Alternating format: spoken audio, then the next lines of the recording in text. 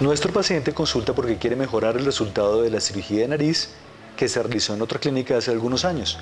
Cuando miramos la fotografía nos damos cuenta que la nariz está muy baja en el sitio del dorso nasal y la punta está muy redonda y levantada, haciendo que la cara no se vea balanceada y no se vea armónica.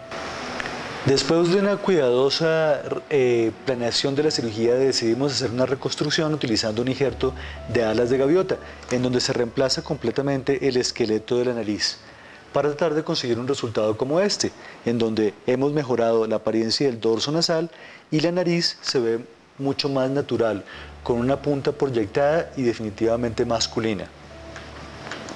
Cuando observamos las dos fotografías superpuestas nos damos cuenta de la diferencia entre la nariz real del paciente y la nariz que queremos obtener, donde nos damos cuenta que nos toca quitar parte de esta prominencia en la nariz, bajar un poco más la punta y proyectarla un poco más para que se vea más natural y definitivamente más masculina. Cuando uno quiere modificar la forma de la nariz, lo que hace es modificar los cartílagos que forman el esqueleto nasal y los cartílagos que forman el ala y la punta de la nariz. Algunos pacientes que tienen cirugías previas es necesario reconstruir completamente ese esqueleto cartilaginoso y se puede realizar con una técnica que se llama la técnica de reconstrucción de, de, nariz de alas de gaviota.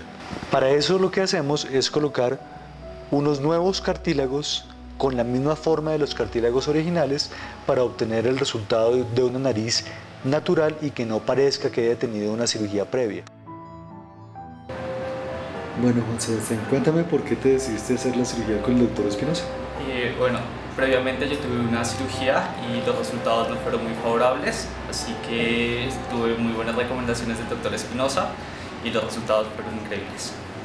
¿Cuánto tiempo llevas de la cirugía? Eh, dos meses. ¿Fue dolorosa la cirugía? Para nada.